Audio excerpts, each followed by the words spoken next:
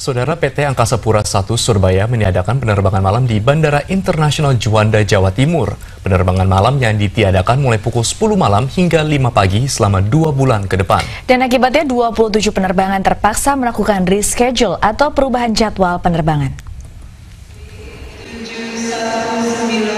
Penerbangan malam ini ditiadakan mulai hari Minggu 25 Januari 2015 hingga dua bulan kemudian. Peniadaan ini dilakukan karena proses perbaikan dan peningkatan runway landasan pacu pesawat di Bandara Juanda. Peniadaan penerbangan ini mulai berlangsung dari pukul 22 hingga 5 pagi. Menurut General Manager PT Angkasa Pura, perbaikan dilakukan karena pengaruh cuaca dan naiknya air tanah di landasan pacu.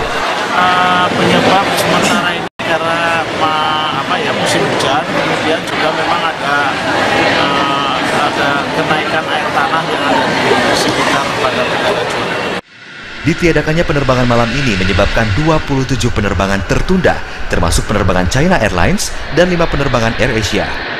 Riko Hardiansyah, kontributor Sidoarjo, Jawa Timur.